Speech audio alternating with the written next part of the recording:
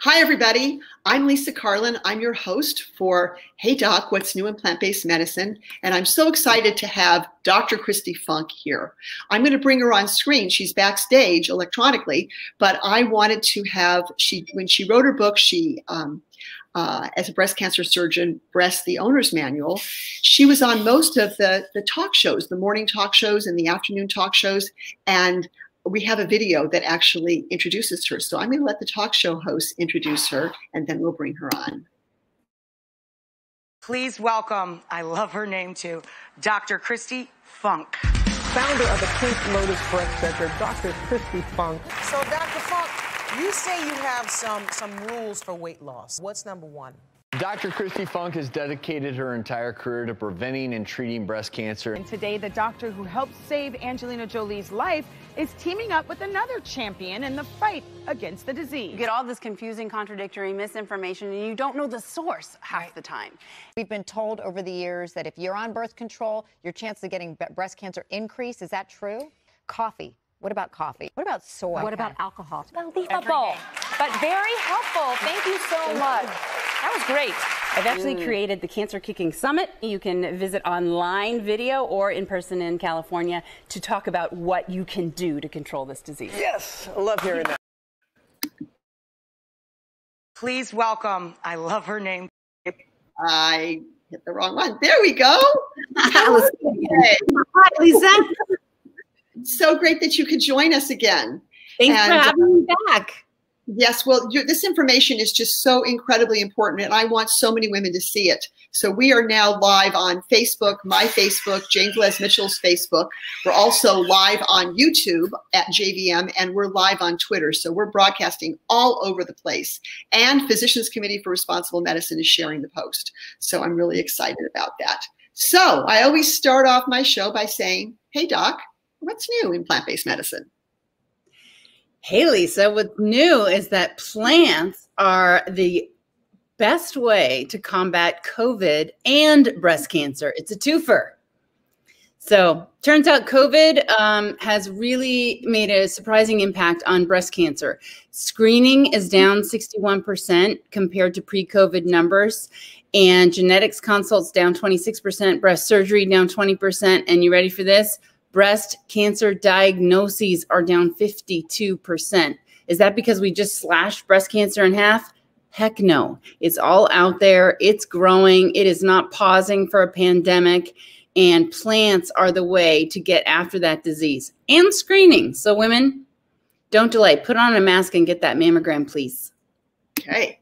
All right, that's wonderful. So we're going to start out today talking a little bit about the the uh, the Pink Lotus Breast Center in, located in Beverly Hills, California, and um, I'm going to put some uh, banners on so people can see all the great things that you are doing at. Um, at, at your breast center because it's not just a place where you see patients. Can you tell us a little bit about what you do and how your breast center is different from other other um, doctors' offices? Absolutely, I'd love to. So, you know, the brick and mortar Pink Lotus Breast Center, it's in Beverly Hills, and you're welcome to come see me. We do telemedicine. I've got tons of um, ways to diagnose and treat breast cancer, but also just lumps and bumps and breast pain. I see all, all benign disease too. The real thing I realized over the 20 plus years that I've been a breast cancer surgeon is that women really want to be informed about their options and their choices. They want to be educated and they want to participate and above all else in in life, true of their breast health and control over their own health, but just of their entire lives. They want to feel significant. They want love and support and meaning.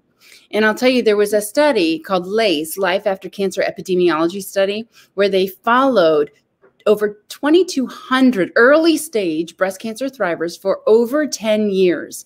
And what they found is that those with low levels of social support from friends and family or lack of religious and social participation were 58% more likely to have died during the study period than those with high levels of support.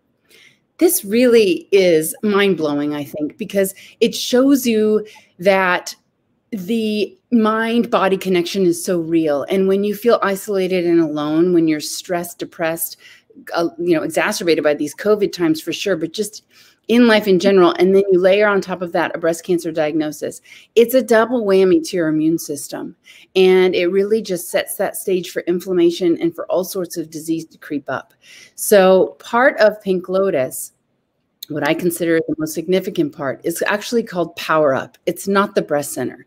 It is an online social community that creates empowerment through community events, podcasts, blogs, crowdfunding, and more. So when you look at Power Up and the six different things that we're offering there, there are these categories. You can show the next slide there, and it'll show you first right front and center breast buddies. This is so powerful. Breast buddies addresses the 58% increase in mortality that the LACE study was talking about. What is it? It is an online matching system, basically, where newly diagnosed women can go on and put in their facts like I'm 42 years old, a stage one breast cancer mastectomy, and like match.com, out will come up all of the women matched age for age, stage for stage, treatment for treatment, who have been there, done that. And they are there because they want to connect with you. They want to befriend you and provide support and encouragement and insight. Crowd Cause is kind of like GoFundMe, but cheaper. Breast List is like Craigslist, where you can buy, sell, trade, or give away your gently used scarves, hats, wigs, etc. A lot of women are like, I bought this post-op bra and I wore it once and it was 80 bucks. What do I do with it? So Breast List is the answer. Pink events, you might just want to announce to the whole group of 10,000 plus women right now in Power Up. Um, looking to grow, so everybody join. Um, pink events, you can just list like your 5K coming up or your Tata, Tata's party. You might be inviting people or you might just be announcing it. Breast groups, it has the basic functionality of Facebook where you would go on, create a profile, and you can chit chat. You can be like, Yeah, I finished Herceptin 17 today. And people could give you a thumbs up and write to you. You can have private chat messages going on in discussion groups like, Who hates tamoxifen? And then you talk about hot flashes and all those things. And then cancer kicking is nearest to my heart because it really is my own um, my own brand where I connect with women directly. So next slide, the summit is coming up in 2021. We've got the virtual summit in April and the in-person live god willing summit at terranea october 16 17 of next year uh, terranea if you don't know is a gorgeous, breathtaking oceanfront resort in Palos Verdes, California. And whether it's the virtual or the live summits, we are going to have such a tremendous time deep diving into the soil of your life, rooting around, getting rid of all the weeds and the pesticides and the glyphosate, if you know what I mean. And then we're going to be planting in that fresh soil 10 critical seeds to blooming the orchard of your life that will yield the most fruitful, bountiful existence possible. So I'm really excited about the upcoming summit. There are other things in Cancer Kicking, like the kitchen, where you can learn all about plant-based uh, eating, tons of recipes and how-tos. It's coming soon, but we've got a few um, placeholders there that will excite you, like my Cancer Kicking smoothie that um, has been making the rounds for about eight years now. People have been drinking that thing down and getting optimal health. So I, a lot I, make, I make that smoothie. I love that smoothie. I'm going to put the link to it um, in the description uh, later. So after the show, so everybody can look for uh, look for the smoothie. But I got to tell you, I make this smoothie probably every other day. And I just think it's incredible. So I encourage. It really does. It have such a punch. I've been adding to it since 2012. Whenever there's evidence-based um, articles on like a new ingredient that really has these above and beyond anti-cancer properties, boop, into the smoothie it goes. For example, there was a study that came out a few years back looking at over 3,000 foods and measuring the antioxidant oxidant potency of the foods. And literally 124 times the antioxidant power of the blueberry was at the tippity top of the list the Indian gooseberry. And since you can't readily find that in your supermarket, you can get amla, which is the powder form. So, boop, in goes a teaspoon of amla into that smoothie. I use it. I get it from Amazon. I get yeah, the great. organic amla powder. It's easy. It's not very expensive, and I think it's wonderful. Yeah, great. So, so tell us about. So that's really fantastic. So tell us about about the store. You have this amazing Element store, and um, I'm going to put the, the, the, the link to it up right now. But I think it's just, it's incredible because you have so many things for so many people. You don't have to have breast cancer or be a breast cancer survivor to use the store because you have so many great things for menopause, for people that want to recover from maybe they had a little too much to drink. Tell us a little bit about what what you have in your store and I'll put the link up. Okay, great. I'd love to. So, this is such a thoughtfully designed store. Every single product has been vetted for you. We've done the research, and a lot of these supplements actually have randomized controlled trials against placebo behind them. So, everything is very um, intelligently and purposefully placed into the store. There's nothing kitschy like ribbon earrings, nothing wrong with those, but we're really about creating solutions to problems that I've been hearing about in my 20 plus years as a doctor. So, Pink Lotus Elements has become a leading leading online women's health and breast cancer store. But as you said, Lisa, you certainly don't need breast cancer to benefit from the uh, things that we offer in this store. So you can shop here, as I said, with peace of mind. Um, and some of the some of my favorites uh, that address product the products that address real needs before, during, or after a cancer diagnosis include Menopause Miracle, which is a three Asian herb blend that works amazingly against all 12 major symptoms of menopause, from hot flashes and um, mood swings, vaginal dryness, decreased libido, itchy skin, thinning hair, you name it, it addresses it. It's it deserves its name of being a miracle. Primrose Pain Buster for breast pain, multi must have. If you look at the ingredients online at this one and compare it to any multivitamin that you are considering taking, I guarantee you this will blow, blow the other one away. It is so intelligently formulated and very specific to address um, it, the antioxidant, anti-cancer needs of women. It has like six different layers of things in there, from from berries to broccoli sprouts, etc. Uh, in addition to your basic multi needs. So there's a lot of stuff to explore in there. Um, Cosmo Companion is a really fun one and a bestseller. We that's for when you are drinking alcohol. It helps negate some of the reasons why alcohol consumption leads to elevated cancer risk for men and women. And then you had put in there. We've got some really uh, fun and important helps for those who are actually going through a breast cancer diagnosis and treatment. So, two just examples are the shower shirt that holds you, the drains in place and keeps everything dry while you then get the rest of you clean so you don't feel mm. so gross and icky after a breast surgery. And then for my ladies going through radiation, the new kit on our elements block is topic aloe. It's really amazing.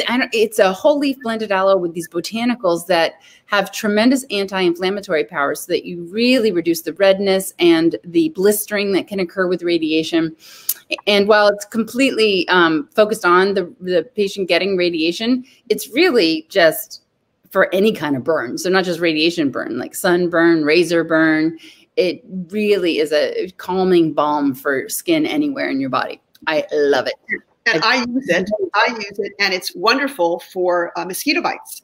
So. Oh, that's right. You told me about that. Because yeah, why? Yeah. Right is inflammation, and this is anti-inflammatory. So yeah, it, makes perfect. It works well. So I love it for mosquito bites. So I'm going to keep it. It's going to be a staple in my in my house for you know any kind of bites or flea bites, any of those things.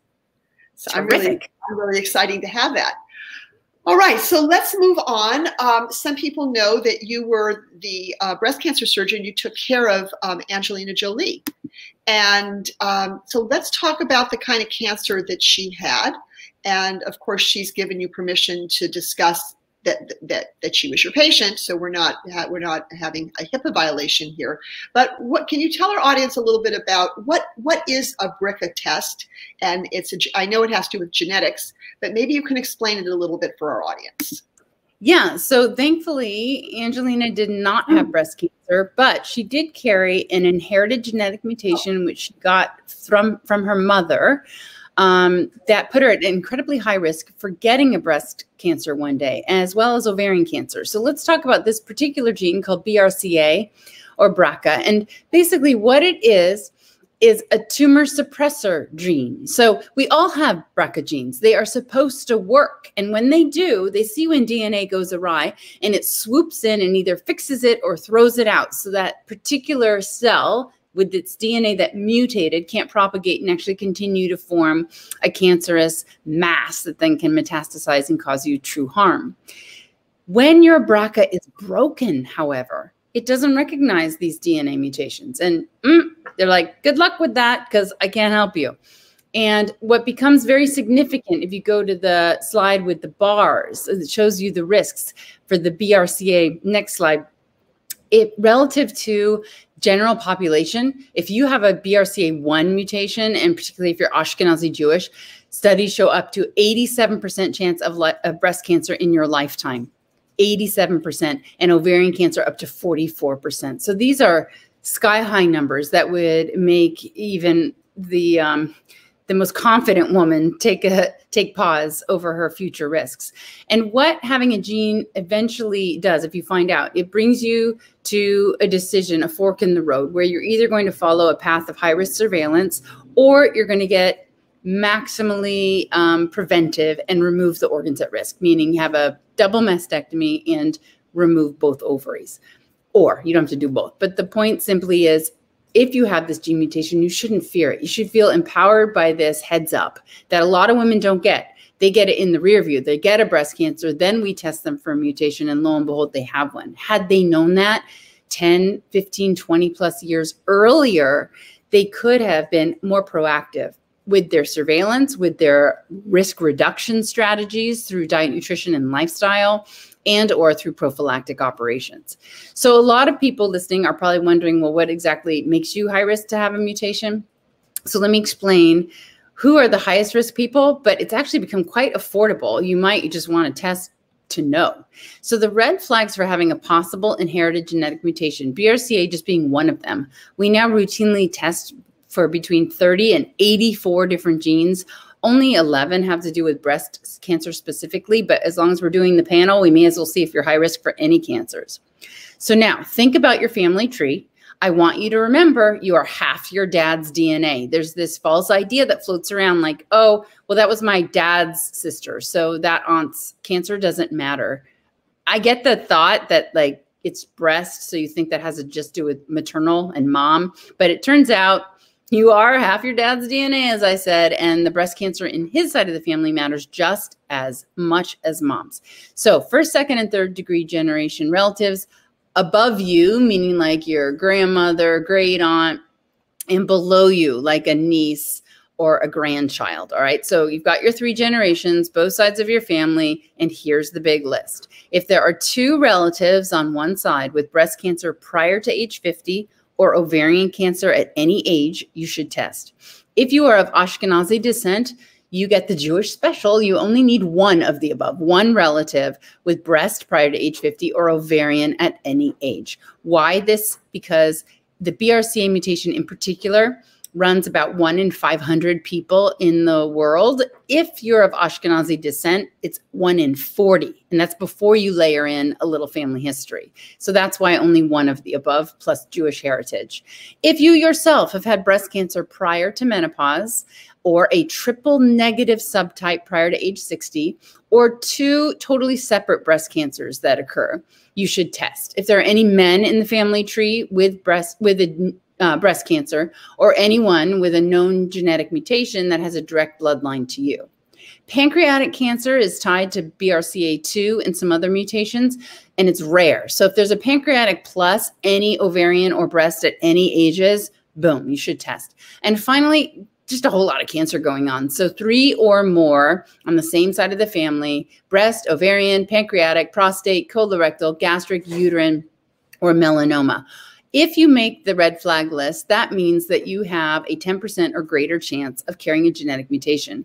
And insurance carriers, by and large, I mean, pretty much all of them, including Medicare and Medi-Cal um, or Medicaid across the country, will follow these criteria and cover testing if you meet them. If you do not, however, it used to be prohibitively costly, like literally $4,500 to get a genetic test. Now, because of competition in the marketplace, and a test can be had. In fact, you, the next slide, the color um, has a FDA approved home testing kit that you can get for $239. And this tests for 30 major gene mutations, including all of those that lead to elevated breast cancer risk. So, pinklotus.com elements, you can get the color test there. It's mailed to your home. You register it online, spit in a tube, mail it back. And a couple weeks later, you'll not only have your results, but it comes with a uh, board certified genetic counselor appointment through color. So that's um, that's the thing about genetic mutations. Having said that, though, what percentage of people have their breast cancers related to an inherited gene mutation such as BRCA? It's only five to ten percent. Think about that. The converse number, ninety to ninety-five percent no genetic mutation. In fact, 87% of all women with breast cancer do not have a first degree relative with breast cancer. So, anybody out there thinking, oh, phew, I'm like so not on that list, I'm off the hook, you are totally hanging on that hook. If you are a human being, especially if you're a woman and you're getting older, you are elevating your risk for breast cancer as each decade goes by. The highest risk decade to get breast cancer, by the way, 70 to 80. So, you're really not off the hook ever. So, what role does diet play? Food choices. Diet and nutrition is one of the heavy hitters. So, if you think about a scale, right? On that scale are risk factors. And every time you make a choice in life, you're either adding weight to one side of the scale or the other, pushing you toward cancer or away.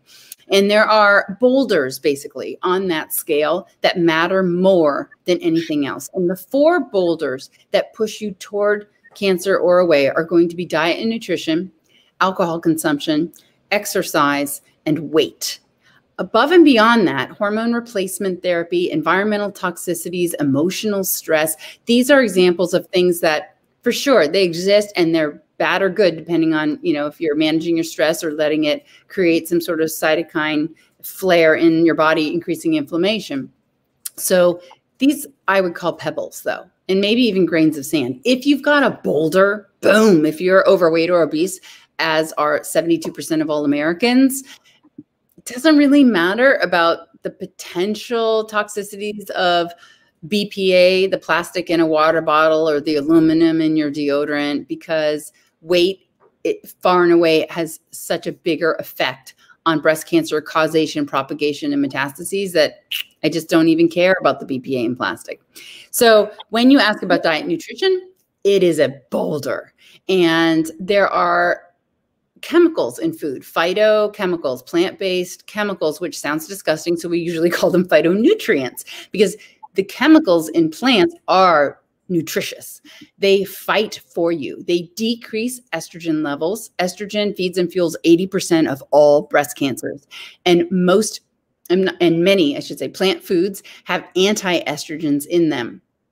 They will lower the the cancer fuel estrogen in your body. And chief among those are going to be soy and cruciferous vegetables and flax seeds and button mushrooms and fiber. So those are just some real bold examples. Like those are the big heavy hitters when it comes to decreasing estrogen levels. What else do these phytonutrients do in your body? They decrease growth hormone, in particular IGF-1, insulin-like growth factor. So this is the big daddy of them all that runs around and creates growth, growth of um, your own cells, which thankfully we need IGF 1 to replace the 50 billion cells a day that we're turning over, but in excess. What's it doing all day? IGF 1, it's screaming at things to grow. Grow atherosclerotic plaque, grow a cancer cell, grow that cell into a mass, grow that cell into a metastases, into lung or liver or bone. So the only thing that elevates IGF-1 above and beyond what your daily needs are for cell turnover and muscle repair and brain protection is animal protein and animal fat. So plants combat the elevation in IGF-1. Plant chemicals combat inflammation, free radical formation, oxidative stress, and importantly, angiogenesis. Angio blood vessel genesis, birth, the birth of new blood flow. Every cancer cell beyond the size of the tip of a pencil requires blood flow its own personal supply in order to continue to multiply, divide, grow, and eventually, boom, exit strategy straight out from that same blood vessel into lung, liver, brain, or bone. So foods are anti-angiogenic. They take away those pipelines, the blood supply bringing nutrients to that cancer cell. And a cancer the size of a pen point is never going to kill you. So if you get its blood supply taken away right when it needs it to continue to exist inside of you, boom, it doesn't exist anymore. Your immune system identifies and destroys that little pinpoint. So, what are the 10 breast superfoods? These are the foods that I've identified through my extensive research into nutrition and foods effects on the things that breast cells in particular need to thrive inside of you. Um, these have anti everything anti estrogen, anti inflammation, anti growth hormone, anti angiogenesis. And that is why these make the top breast superfoods list plus soy, which is its own little section for me. So, number one, cruciferous veggies and leafy greens. I've got here written down for you just the chemical names that, you know, I can impress you that I can say them without stuttering, like isothiocyanate or sulforaphane or indole 3 carbinol. But basically, I just want you to understand that they're real chemicals that are inside our foods. You just chew and swallow. You don't have to understand what they're doing or how to pronounce them. Just know they are getting absorbed into your bloodstream coursing through your veins, saturating your cells, and working for you every time you chew and swallow a, just a broccoli floret or some arugula, kale, collard greens, mustard greens, you name it. But cruciferous veggies and le leafy greens top the charts when it comes to um, fighting, seeking, and destroying cancer cells. How many so, servings day should people have? Like, should they have it once a week? Should they have it every day? How do you, how do you, what, what is your recommendation in terms of how much and how often? So two to three servings of simply that one category of cruciferous veggies and leafy greens. You can get two servings easily and two fistfuls of leafy greens pushed into the smoothie that we talked about already. So it really is not as difficult to consume these foods as one might think when you start to learn how to creatively combine them into meals that all work together for you. Well, these are, you know, incredible flavor components. So this is what makes food taste good. And, exactly. Uh, yeah, and and and you have turmeric and spices. You have curcumin and piperine. Piperine, I think, is black pepper. Yes, it is. So piperine, uh, as as standalone, actually has anti-cancer properties. But what it does is it potentiates the activity, the bioavailability of the curcumin and turmeric by up to two thousand percent more bioavailable. And curcumin and the other anti-cancer properties of turmeric. By the way, there was a study that put turmeric and curcumin head to head in breast cancer in petri dishes, and turmeric had more cancer kill properties than the curcumin alone. So a lot of people appropriately correctly identify curcumin as the big daddy actor inside turmeric but it doesn't act alone it has synergistic properties with the rest of turmeric that science hasn't really like figured out yet so when you get your curcumin pill as like a supplement uh-uh, you should have just sprinkled that turmeric onto your salad or into your um, beans or rice or something because you get more power that way. Plus the piperine to make it more bioavailable. Plus, this is a fat soluble uh, phytonutrient. So you want to combine it with a healthy source of fats. In my smoothie, the fat is flax seeds, but on a salad, it might be avocado or a whole olive, for example. So mm -hmm. that that's one thing um, to remember when you're having your turmeric. We need some piperine from pepper, black pepper, and we need some fat. Other things on the superfood list, berries, the the uh, poly the polyphenols and anthocyanidins in uh, in berries are just off the charts. And something interesting is that frozen berries actually deliver that polyphenol power much more readily than fresh. So that's great to know because berries aren't often in season and they're actually cheaper to get in the organic frozen uh, bags than than fresh, and they actually deliver all that power more readily. So I every day, not every day.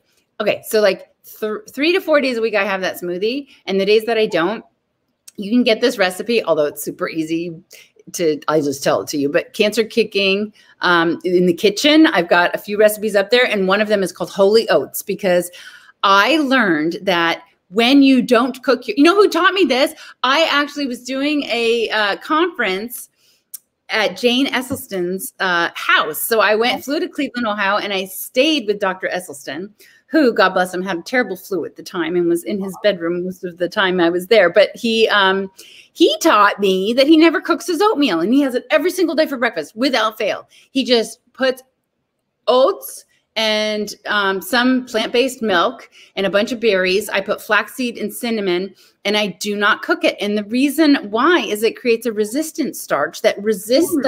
Digestion uh, through the small intestine and ends up being such a powerful prebiotic for your microbiome in your colon.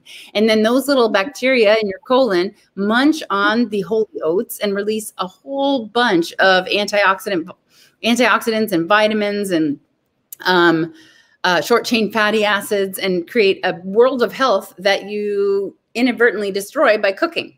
So okay. always uh, old fashioned oats or or um, steel, steel cut. cut. Yeah, so don't do the instant ever uh, or the uh, quick cooking. They're yeah. cut too thin. You get sugar molecules created way too quickly in your small intestine and absorbed, you get a sugar spike, insulin spike. So those two types of oats are not to be consumed. I want you having either old fashioned or the steel cut. Okay, let's talk a little bit about fiber and the relationship between fiber and estrogen. All right, let's do it. So fiber um, suppresses cancer growth because it binds estrogen in your GI tract and it makes you poop it out. And it also improves insulin sensitivity. And just as i was saying with the prebiotic to the to the uh, flora in your microbiome it releases antioxidant vitamins and anti-cancer compounds including lignans which is a really potent anti-estrogen. In fact the most concentrated plant source of lignans on planet earth flax seeds also the most concentrated source of um, the healthy monounsaturated omega-3 fatty acids flax seeds hence two tablespoons of ground flax seeds every single day. Um, I put it in a smoothie. If I don't have my smoothie, it's in the oats. And if it's uh, not in the oats, sometimes I just top it on a salad. But because I'm always eating one of those three things every single day. So, so fiber. Um, go ahead. Ask, do, you grind, do you grind them or do you buy it ground? The flax. I I buy it ground and keep it in the refrigerator. It will stay fresh and active for three months. But honestly, we literally because there's five of us in this house eating flax every day. Uh, we go through a bag in two weeks. So I don't need to even bother with whole. But if you buy it whole, uh, you can't consume it that way. You will simply poop it out. Your body can't digest the hull of, of intact flaxseed. So the ways to grind it, if you have a Vitamix or other powerful blender, that'll grind it up just fine, no problem. Or I have a dedicated coffee grinder. I got one for the coffee beans, but one for um, spices. So when you buy whole spices that need to be ground, including the flax, you could just put it in there and it'll grind it right up but you have to consume it ground. Uh, so fiber, people shockingly 97%, let that sink in, 97% of human beings do not reach the measly uh, baseline recommendation of 30 grams of fiber a day. And I call that measly because I'm getting at least 60 a day.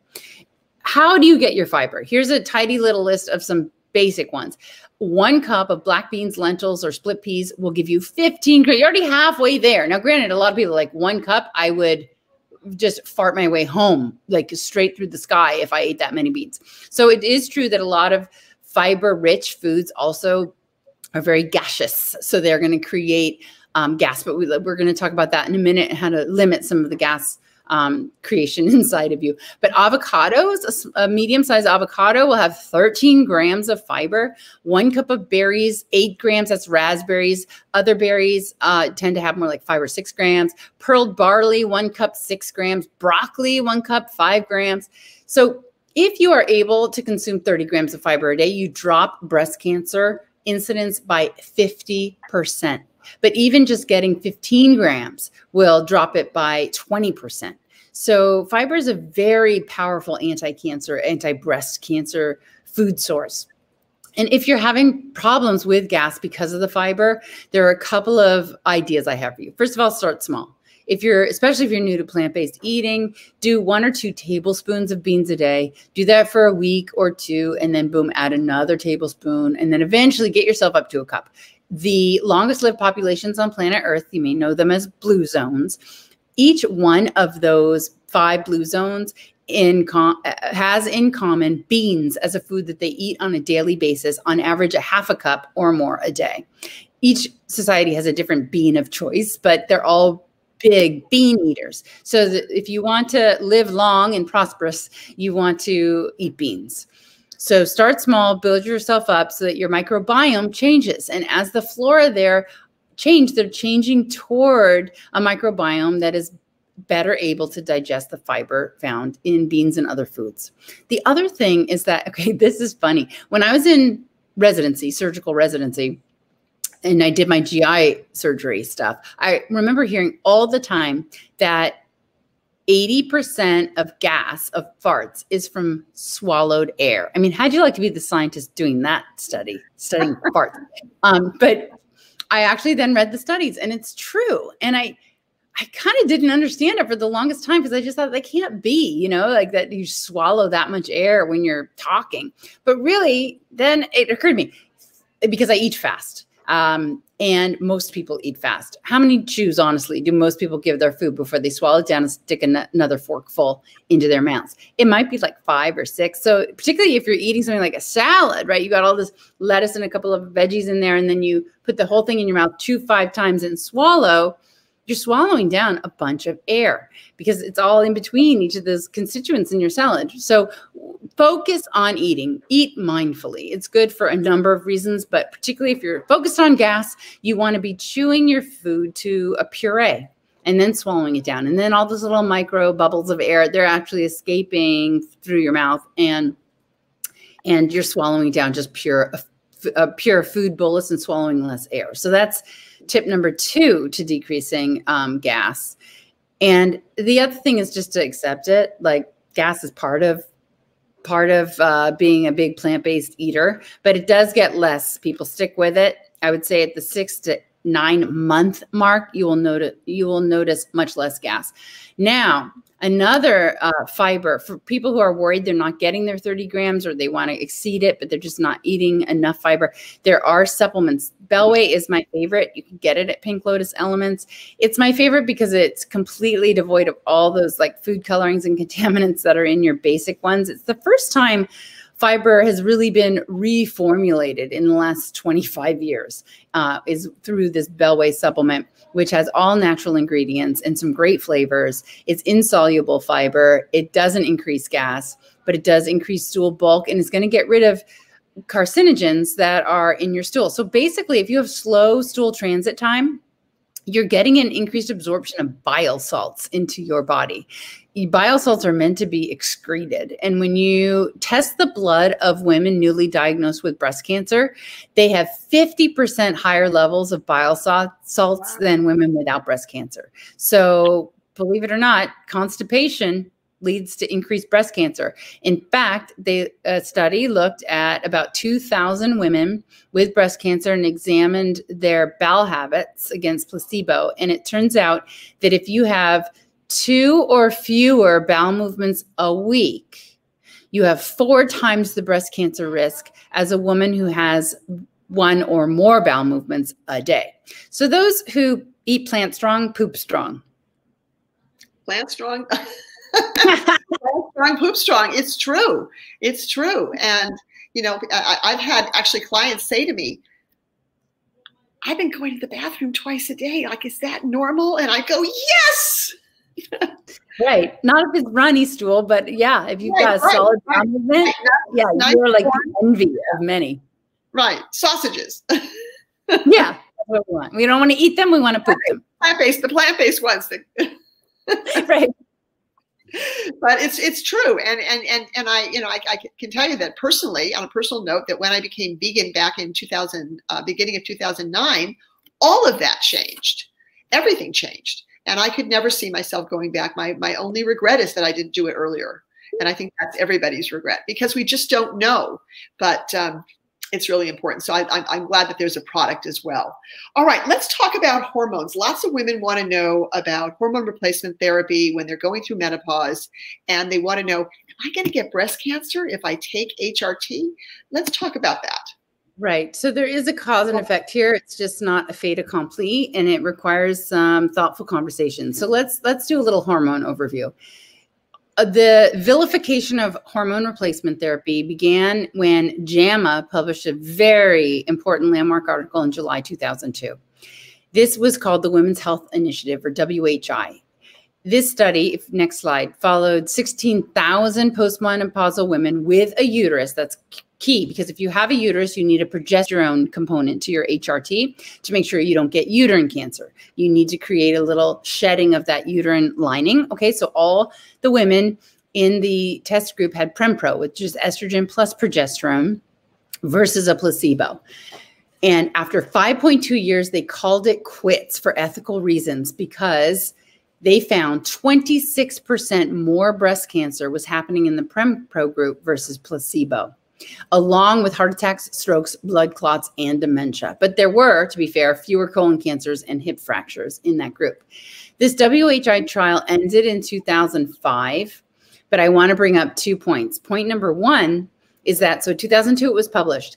In reaction to that, gynecologists and internists across America whoop, whipped uh, like literally that year 33 million prescriptions for hrt disappeared from america. Uh, so maybe about 3 million women quit using hrt and the following year in just a 12 month time period which is pretty pretty revealing we had an unprecedented 7% drop in breast cancer in 2003 and that drop was found exclusively in postmenopausal women with estrogen driven cancers. So that pretty much pointed the finger again at Prempro and HRT being a culprit.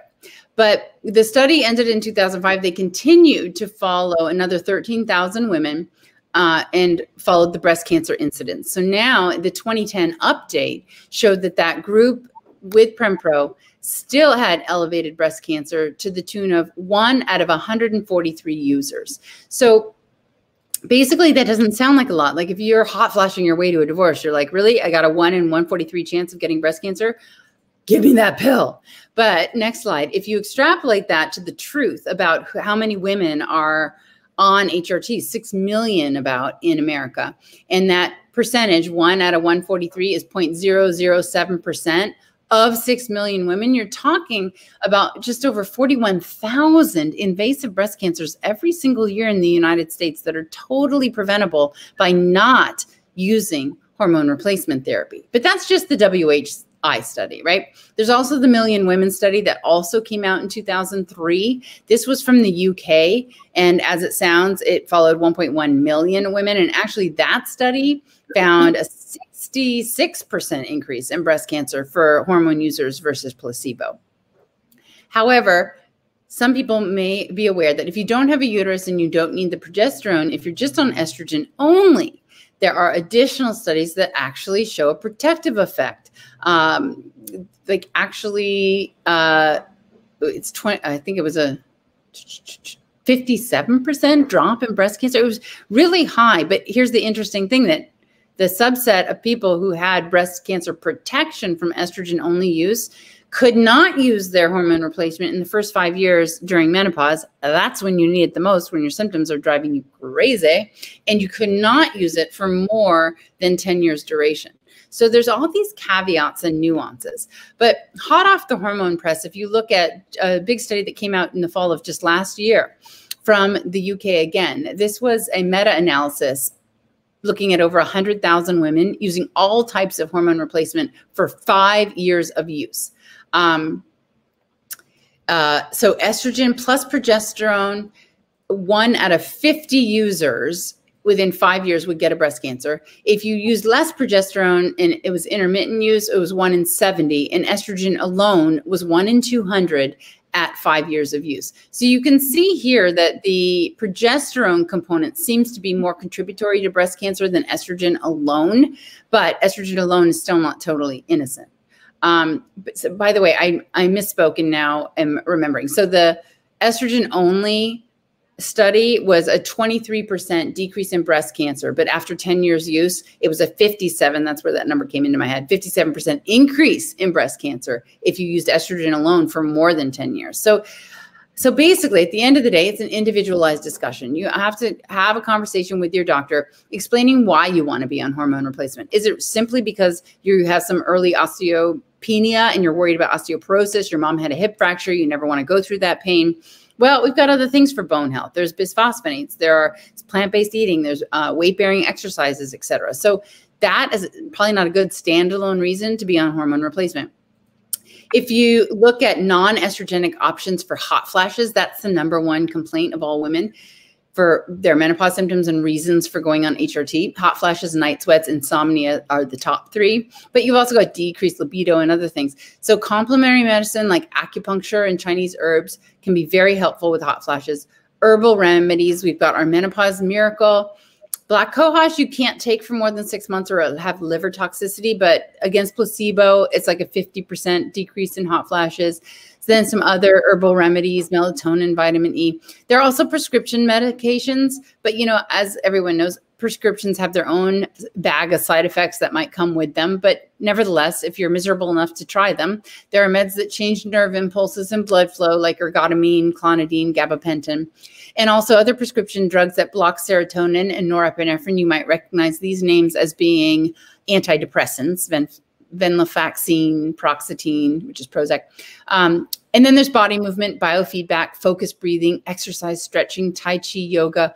All of these non estrogenic options really do work for women, but they have to stick with it.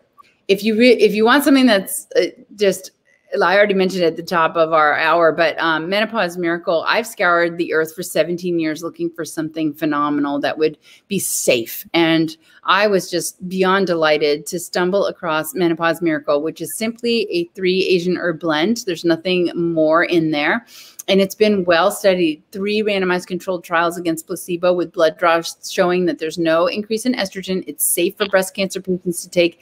It does not interfere with cytochrome p450 which is the liver enzyme that's responsible for activating medications like tamoxifen. And people get relief. And it's not just for hot flashes. It's all 12 major symptoms. And then in these randomized studies they found out just incidentally that it improved cholesterol levels so hdl up ldl down and increased bone density. So consider this um, as with most herbs it can take like a month 30 days of taking it every single day and then boom one day you just wake up you're like oh the hot flashes are all gone. So that i just um, encourage women to have a conversation before you leap to hrt which is oftentimes so much easier for doctors to just write a script right? And they make you happy.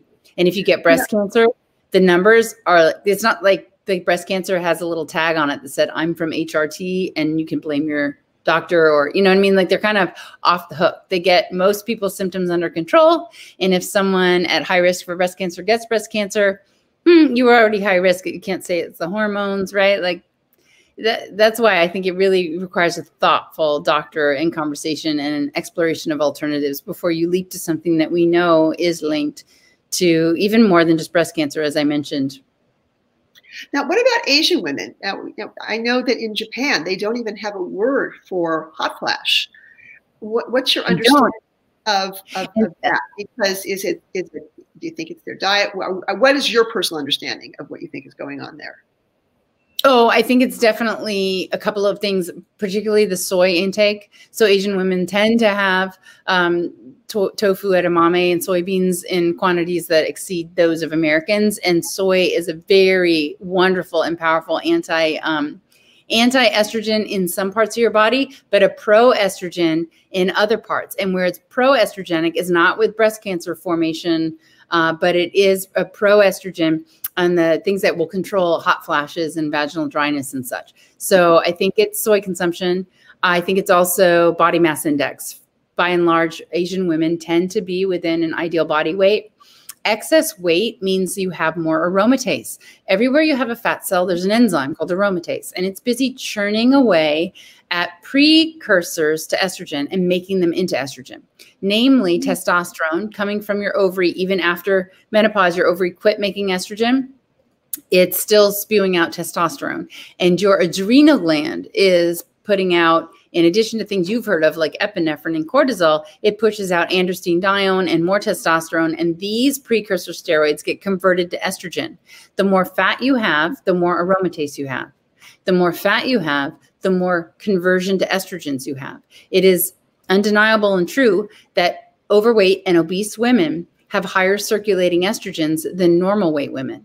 And they have 50 to 250% more breast cancer incidence, recurrence, and mortality from breast cancer simply because of being overweight or obese. And Asian women tend to be ideal body weight, so they have less of the bad actor estrogen flying around to cause their cancers.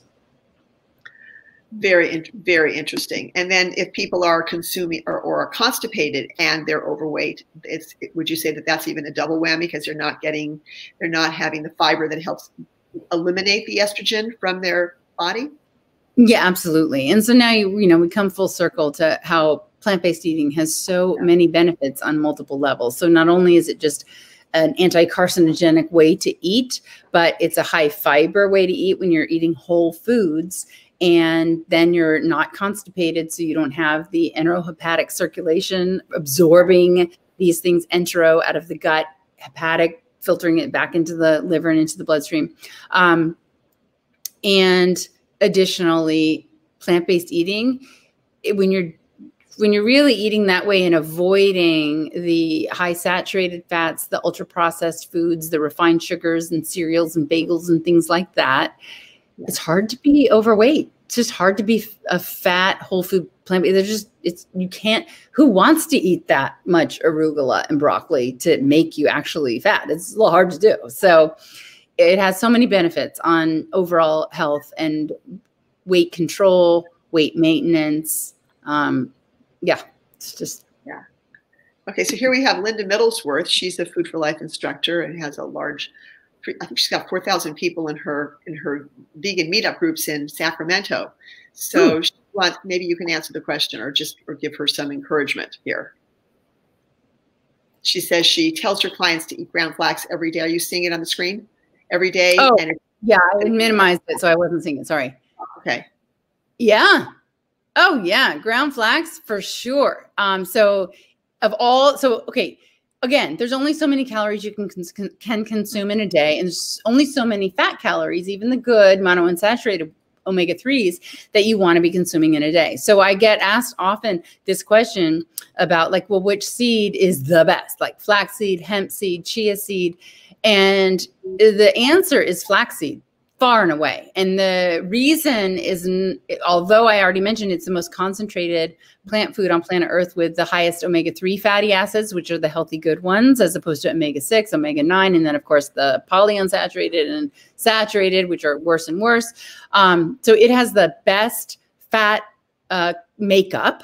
But more importantly, when it pertains to breast cancer, it has lignans pretty much 100 times the lignan content of any plant food on earth. Some plant foods have more like you know, it has like 50 times the amount, but literally it's usually 100 times the amount. And lignans are anti-estrogens and they create all of that that fight for you eh, because remember 80% of all breast cancers are fed and fueled by estrogen.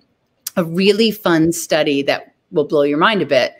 They took uh, I forget how many, I want to say it was 50 women with breast cancer. They took their core biopsies and they evaluated something called the Ki67. This is the proliferation rate. It's the it's the percentage of cells under the microscope that are actively dividing.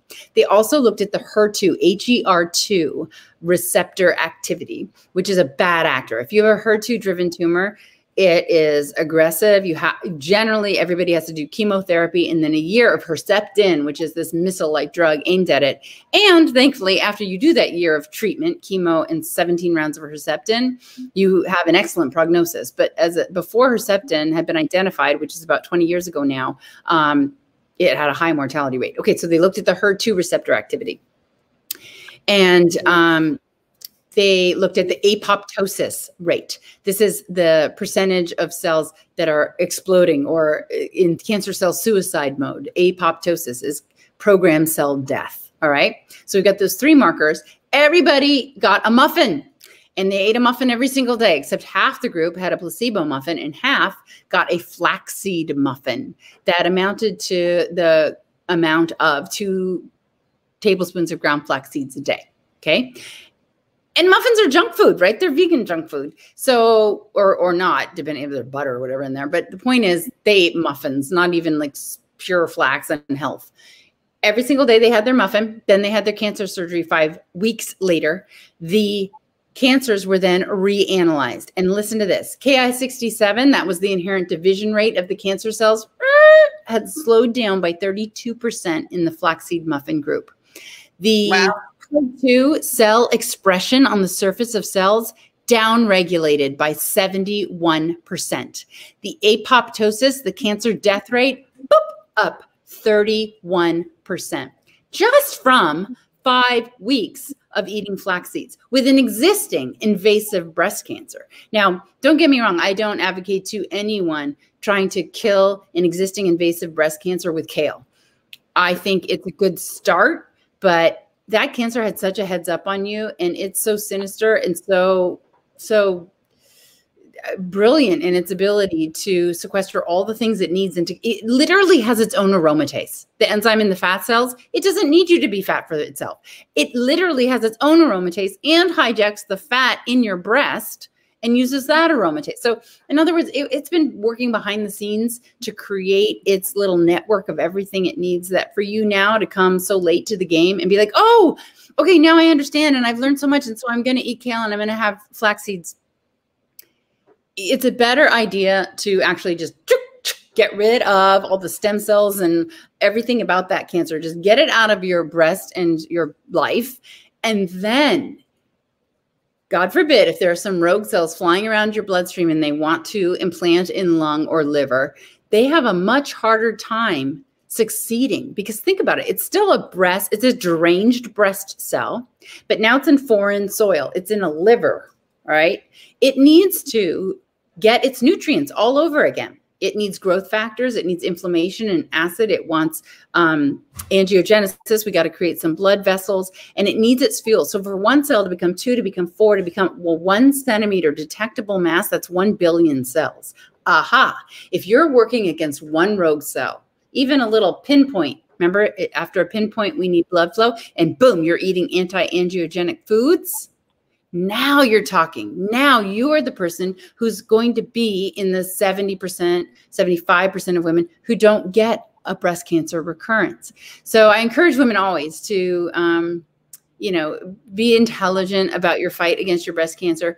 I think that you can combine, you know, West and East or just complementary mm, strategies with the tried and true, like surgery and sometimes chemo and radiation and anti estrogen prescription medications. But, you know, this is your one shot, your one shot in life. And if you already have an invasive breast cancer, maybe you want to just bring uh, you know, every ammunition in the tank and throw it at throw it at that cancer. So what do we want to say to Amira St. John? She says, I don't trust mammograms. What's your opinion of mammograms? And I know we're, we're going to talk about tomosynthesis as well, but let's let's let's talk. Terrific, Terrific question and an accurate one um, in that like your mistrust of them is um, not unfounded. So there's two reasons to distrust mammograms, but neither is a reason to not get one. But let's talk about it. So first fear for women is that there's radiation in a mammogram.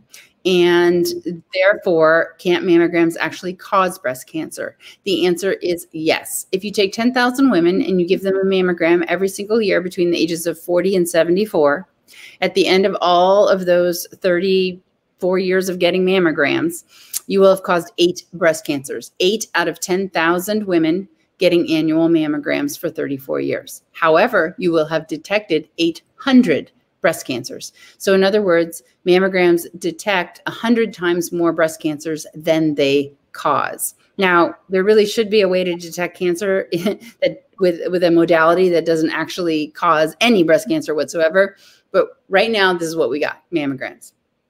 Number two reason um, is that can't it's not a it's not hundred percent. So you're you get a clean mammogram, but really your mammogram's ability to see cancer depends in large part on your breast density. So if we show this slide called uh, breast density, um, basically you probably think your breasts are dense if they feel lumpy and bumpy to your fingers, but that's not density. Density is a visual interpretation of how much of the white splotchy snowstorm stuff is visible on a mammogram versus the black and light gray, which is fat and stroma and blood vessels and things that don't get breast cancer.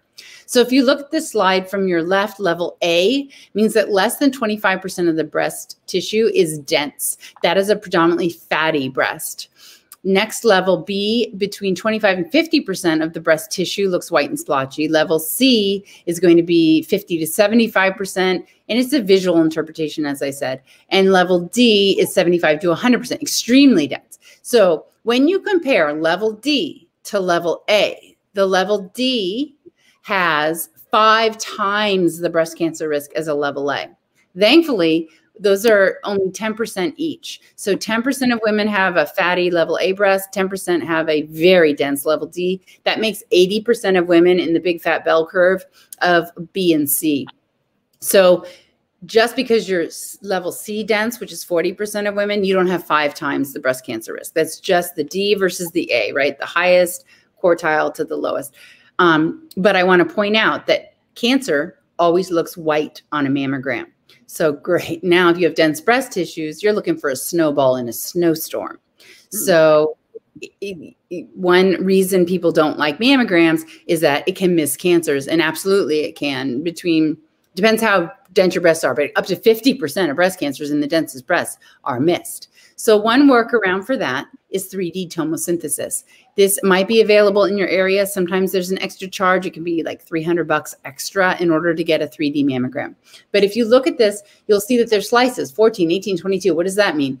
From your perspective, it's still your breast in between two mammogram plates with squishing pressure. Sorry about that, ladies. And yes, radiation. In fact, a touch more radiation than your typical 2D digital mammogram.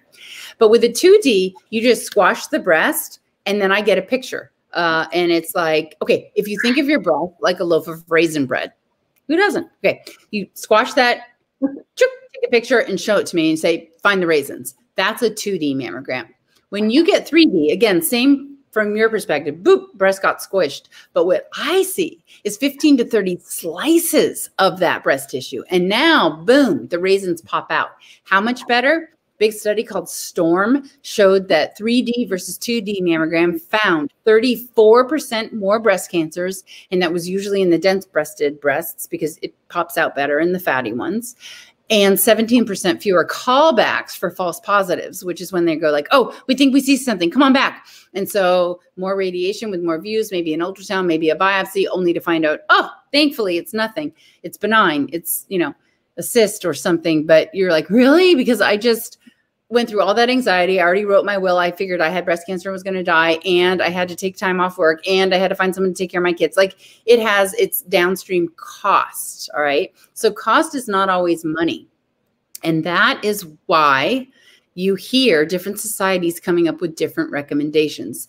They've done their cost benefit analysis of mammography and they've decided that you should start at age 40. No, they say start at age 50. Get it every single year. No, they say do it every other year. You shouldn't stop until you think you're going to die in the next 5 to 10 years. No, you should stop when you're 74 years old. Oh, like literally reputable, well researched, thoughtful groups have come up with these wildly different recommendations for mammography when to start, when to stop, how often to get it. And the reason is that these recommendations are usually from a committee of people who are like epidemiologists and others that look at the cost benefit. And like I said, the cost isn't always money, it's all the other things, the anxiety that's produced from false positive. And they basically come up with a rather subjective idea of how many mammograms is it worth it to save one life? How many, how many mammograms should you have to do to save one life? To make all the false positives and the callbacks and the unnecessary biopsies worth it. Well, a study was done that asked women that, and they came up with the number of 5,000. 5,000 mammograms is worth saving one life.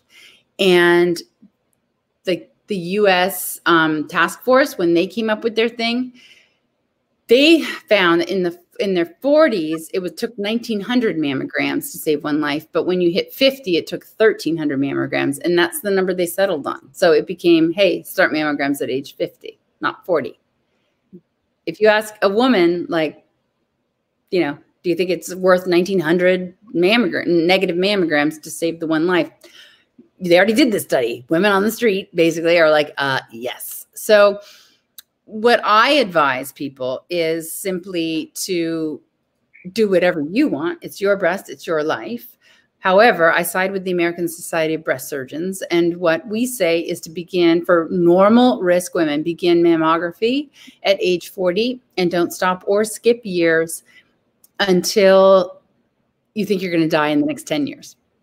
So that's a little hard to predict, of course, but we're not talking about getting hit by a bus. If you have end stage cardiac disease and you're on oxygen, you can probably stop getting your mammograms because even if you had a breast cancer, that by the time it mm-hmm. metastasized and actually caused your demise, your heart disease would would get you first.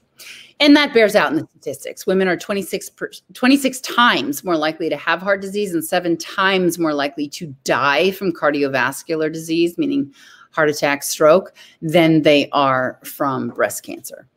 So you have to be smart about your own health. I do want to touch on some other imaging modalities that go beyond mammogram. So we've got the 3D.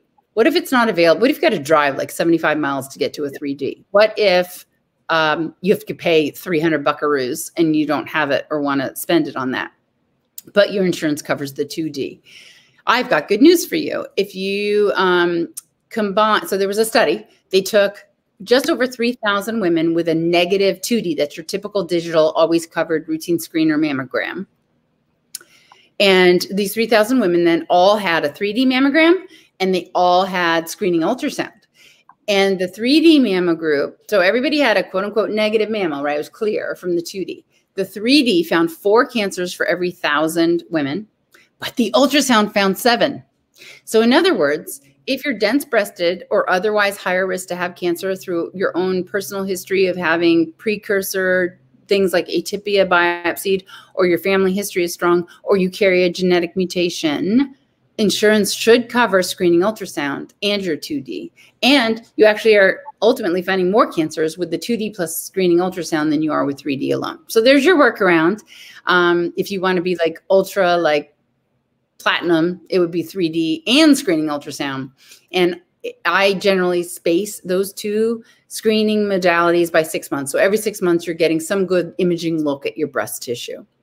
On top of that is breast MRI, and I reserve that for very high risk women. Uh, typically over 20% lifetime estimated risk of getting breast cancer from a gene mutation or a personal history, et cetera. Um, yeah, so that's that's my imaging summary. So very briefly, can uh, Tracy Childs has a question. She wants to know if you can talk about DCIS and uh, overdiagnosis. That's an excellent observation. So DCIS, ductal carcinoma in situ, is a stage zero cancer. By definition, these are cancer cells, but they're stuck inside an intact milk duct. Therefore, they cannot access lymphatics or bloodstream. They can't spread. So ultimately, if we all had breast cancer, but it hung out in our breast, not causing pain, and we didn't even know about it for our entire lives, uh, who cares? And I'd rather not know about it because as soon as you know about it, it's a little hard to be like, eh, maybe I'll just mm, throw flax seeds at it, right?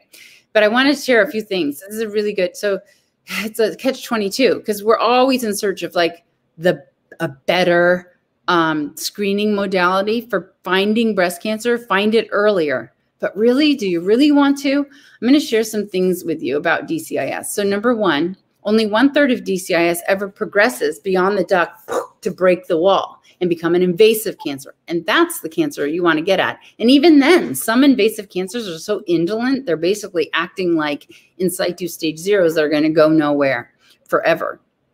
So one third invade and two thirds stay put. So I sure wish we could know who's the two thirds staying put and who's the one third invading. Because now, when you diagnose DCIS, you can know. And if it's in the two thirds that stays put, you don't have to do all that stuff. And that stuff is surgery, sometimes radiation, sometimes anti estrogen therapy for five or 10 years. And sometimes that surgery in certain individuals is a bilateral mastectomy, all over something that would have been nothing.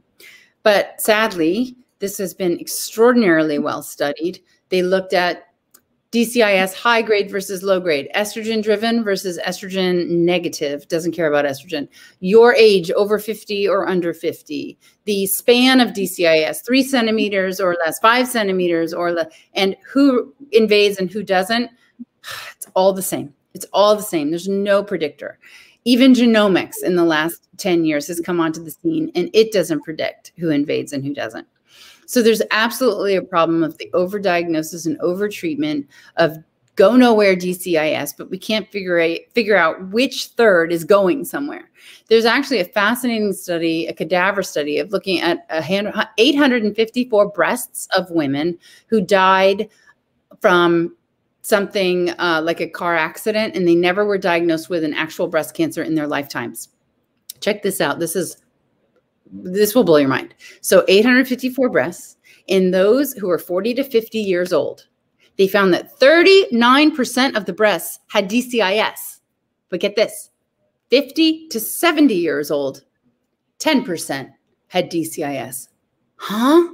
I mean, that is a strong suggestion that DCIS regresses and up to 75% of it disappears out of your breast. So what's happening in that crossover is menopause, right? So you withdraw the estrogen influence and suddenly DCIS starts to disappear in 75% of breasts.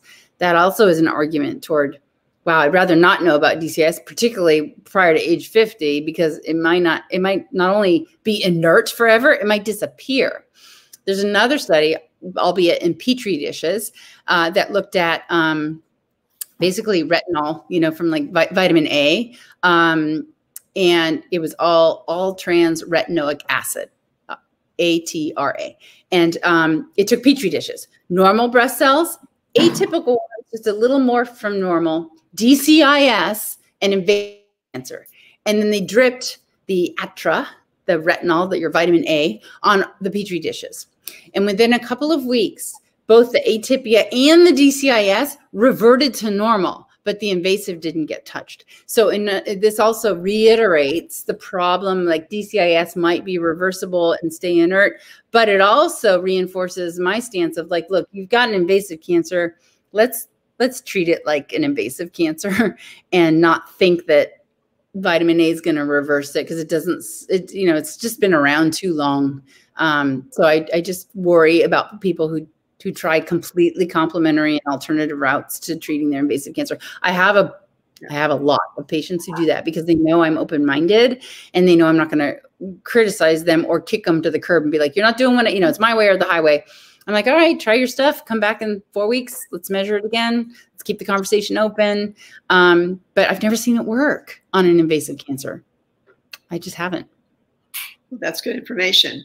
All right. When I when I wrote the description for the show today, I wrote about uh, I wrote about Physicians Committee for Responsible Medicine and their new campaign called Let's Let's Beat Breast Cancer. And you are the figurehead for um, for Physicians Committee in the Let's Beat Beat Breast Cancer campaign. Let's talk a little bit about that.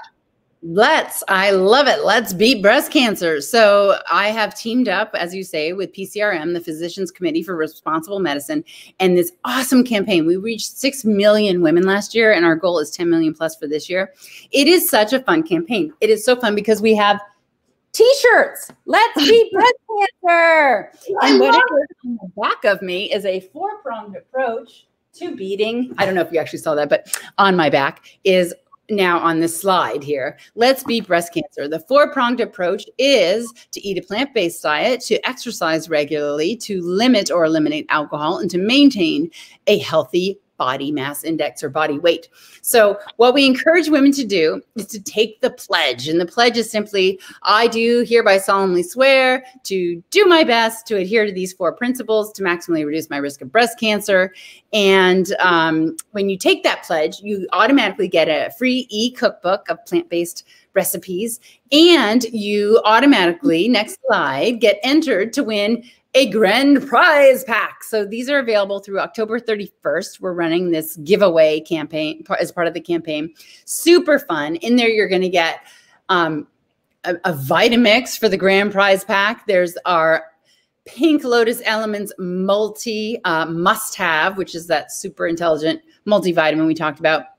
and a whole host of other fun goodies in the you know some Tofurky and some mary's gone crackers but basically what we want women to do is to take this pledge you can post about it hashtag let's beat breast cancer hashtag pcrm hashtag um, or at tag at Dr. Kristi Funk, but make it a fun campaign to invite your friends and family to join because it it becomes a big community. And you also get a newsletter weekly that addresses each of the four prongs. So the first one's all about how to eat more plant-based with tons of tips and tricks. The next one's going to be about alcohol, the third one about exercise, and the fourth one about weight control.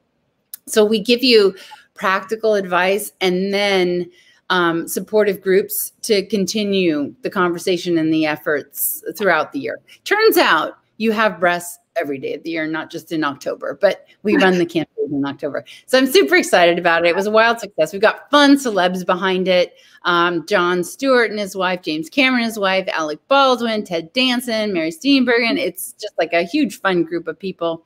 And um, I'm honored to be a big part of it and now it's it's happening at a time. Now uh, just a few days ago this is the 25th on september 22nd physicians committee for responsible medicine filed a lawsuit against the food and drug administration. It's on their website so it's common knowledge and uh, they it, it, it, goes back to what happened 180 days ago. So let's just backtrack. So 180 days ago uh, physicians committee asked the food and drug they, to, the food and drug committee to, uh, food and drug the fda to uh, sign a petition because they were petitioning to get breast cancer warning labels placed on food that breast cancer may cause uh, that uh, cheese may cause breast cancer so they're not saying definitively, but they're saying that it may cause that. And kind of like we have warning labels on cigarettes, this is to place warning labels on cheese. Well, the FDA didn't do anything about it. And Physicians Committee kept sending them more documentation and little nudges to, to get them to respond. And the 180 days passed. And then on September 22nd, they filed a lawsuit. So we're going to see more of that. And I think it's very interesting that it's happening at this time when you're doing the Let's Beat Breast Cancer campaign. And Dotsie Bausch, who is a, a, a, a, vegan Olympian. She won the silver medal in cycling in 2012. Uh, almost, she was almost 40 years old, and she competed against women who were about half her age, basically young enough to be her daughters. And she scored, won a silver medal. So, in her retirement from cycling, she started an organization called Switch for Good, which I know you know about. And mm-hmm they have been trying to get the United States Department of Agriculture every five years they come out with guidelines, dietary guidelines. So they're trying very hard to have dairy as a category removed from the guidelines because the guidelines dictate how federal money is spent. So Switch for Good has um, put together a 48 page report I sent you the report, um, and I'm going to post the link. It's in the description, so the link is already posted in the in the description for Facebook and YouTube. It's not on Twitter, but I'll see if I can add it to Twitter. And um, and it's to just basically bring to light the science, the evidence-based science about dairy products. Tell me what you think about dairy products. And and and if you if you had a chance to look over this long report, um, I'm very interested in hearing your comments. Yeah, dairy is surprisingly um, dangerous for breasts, but it's surprising because we also hear good things. So if you think about what's in the balance of milk, research shows increases and decreases and null effects of dairy consumption on breast cancer risk. So naturally, when you do a meta-analysis combining tons of studies, it's going to conclude that dairy's fine. And if you look at the left side of this slide, um, you would think, I think anyway, that the hormones, the insulin like growth factor, which we've talked about as a bad actor promoting breast cancer growth and um, metastases, the presence of fat, pesticide residues, antibiotics, aflatoxins, all of these negative effects should overcome the quote unquote healthy and protective effects of calcium, vitamin D, butyrate, lactoferrin, conjugated linoleic acid. Um, but because, but somehow in the balance of things, it makes these studies look like milk's an innocent bystander and safe to consume. Uh, not so, my friends. So, if we look at the LACE study, you might recognize that acronym as part of the study that talked about the psychosocial support when we at the beginning of this hour. But they also had a subset of patients, uh, about 1,900 early stage breast cancers. These were followed 11.8 years. And what they found was that high fat, not low fat, but high fat dairy. So now we're talking butter and cheese with one or more daily servings versus a half or less daily serving had a 49% bump in all cause mortality. So uh, it's the prior slide that we're talking about, actually, Elise. Um, yeah, so there's a almost 50% increase in death from high fat versus less high fat consumption. And that's another asterisk I would like to point out. These aren't high fat, it's high fat versus low fat dairy, dairy, dairy, dairy. Like seriously, what about versus the vegan? What about someone who's not consuming any? Because if it's already a 50% bump, it should be worse if it's uh, cow dairy versus soy milk, right? So here's a really cool study that just came out a few months ago. And this one looked at dairy and soy and the risk of breast cancer. And it looked at a bunch of women, 52,000 North American women followed 7.9 years. And in that time, just over a thousand breast cancers developed. Well, who was more likely to have it develop? The highest versus the lowest consumers of dairy milk paralleled the LACE study exactly, a 50% bump. But then that's again dairy to dairy. And of course, I why didn't they do the high the high uh, dairy versus the soy milk? Nope. Instead, they just had median, kind of average level, a cup or two of you drink only soy, but you you drink a cup or two a day of dairy milk, and yet just in this like baseline middle ground, not like really protective, excessive. There was a 32% drop in breast cancer for the soy versus dairy milk consumers. So there's absolutely um, carcinogenic effects. It has to do with elevating the IGF 1 predominantly, but it's also the estrogen content of high fat dairy, like the cheese. Because where is milk coming from? It's coming from a cow. And when do you make milk, ladies?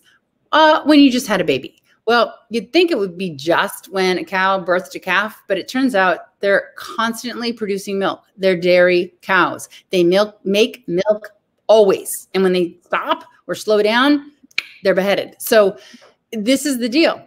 They're in a high estrogenic state always because they're inseminated short like within three months of birthing a calf boom they're inseminated again and they're pregnant and they continue to make milk throughout pregnancy. And then after they have the calf they get a couple of months two three months to just be making milk. And this is a high estrogenic state. And where is the estrogen? It's in the fat.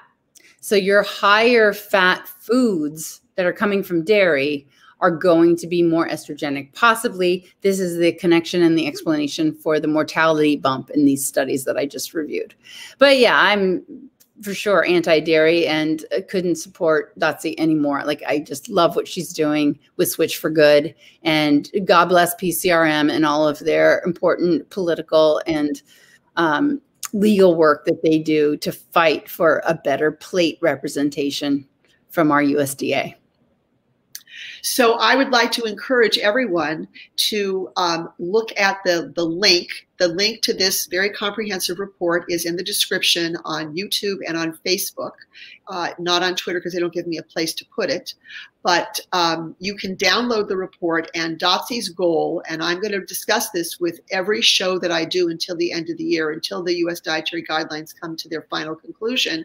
I want to spend a few minutes, like we did today, talking about it, asking everyone to download this 48 page paper and to please forward it, get it into the hands of every healthcare provider you know, every physician, every um, uh, uh, every nurse, every advanced practice nurse, nurse practitioners, physician's assistants, registered dietitians, health coaches, everybody needs to read this because these are the people that are influencing health decisions. And then the rest of the public needs to read it as well because we will be enlightened. And I think it's really important for everyone to know this is evidence based. It's not propaganda. It all comes from hard science, which is why you, Dr. Funk, made a change partway in your career when you learned about all of this. So the goal right now is to get this information into everybody's hands. So if dairy is not removed from the U.S. Uh, dietary guidelines this year, that it certainly will be in the next five years, because every five years in the 2025 guidelines, every five years these guidelines are revised, and they are subs and and and these food industries are subsidized by the federal government to make these foods cheap enough for people to eat because they're really more expensive. So the, the cost is being subsidized for meat, eggs, and dairy. Um, and uh, it doesn't make us healthier. It's hurting our planet, it's causing global warming. It is, um, or I should say, it's attributed to global warming. Some people say anywhere between, between 15 and 51% of greenhouse gases come from animal agriculture. But look at what it's doing to our health. And then you look at what it's doing to the animals. So we really need to pay attention. Pardon? Preach it, sister. yes, yes. So that's that's my that's my thing. So anyway, thank you so much for joining us. If you would be kind enough, uh, Kristi, to look at the, uh, the, the the comments and the questions and respond as you can over the next few days, I think people would really appreciate that. And I encourage anybody if you're interested in seeing Dr. Funk as a patient, she does telemedicine, and you can also i mean if you if you i hope you don't need to see her but if anybody feels like they need to see her she's available and um, and you do do some telemedicine and um, I want to thank you for being here again. I hope to have you back again before the Cancer Kicking Summit. There's going to be a virtual summit in April, I believe. You don't have the date yet. And then yeah, you have April, April 2021, the virtual will begin. You can watch it like for 90 days. So it begins oh, in I, April. Oh, in April. Okay, wonderful. And then thank you for correcting me on that. And then uh, October, uh, what's the dates in October 2021? 16, 16, 16 and that is going to be something that I'm looking forward to going to. I'm not a breast cancer patient or survivor, but I want to go to the conference because I think it's going to be so interesting and uh, for all the reasons that you talked about. So thank you for being here, everybody. Thank you for hanging in. We went a little bit long today, but I think this is just incredibly important information and everybody should have it. So Thank you, Dr. Funk, for being with us, and thank my audience. And please comment and share the, the, the, feed so other people will have access to this information. Have a Thank good weekend. You. Thanks, everyone. Bye. Bye.